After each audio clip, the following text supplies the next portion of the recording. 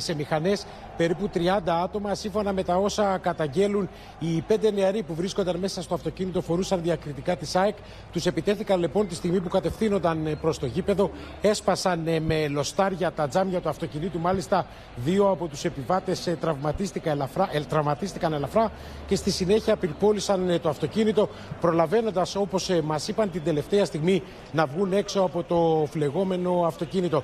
Το περιστατικό αυτό συνέβη σε μια γειτονιά, όπως είπαμε, αρκετά μακριά από το Ολυμπιακό στάδιο. Έφτασαν αστυνομικές δυνάμεις εκεί, όμως δεν κατάφεραν να εντοπίσουν τους νεαρούς οι οποίοι επέβαιναν σε μηχανές. Καθώς όπως καταλαβαίνεις, Νίκο, γρήγορα εξαφανίστηκαν στα γύρω στενά. Ενώ βλέπουμε και εικόνες τι έγινε πριν από λίγο, όπου έχουμε, έχουν χρησιμοποιηθεί πρόχειρα δοφράγματα. Βεβαίως, εικόνες ντροπής.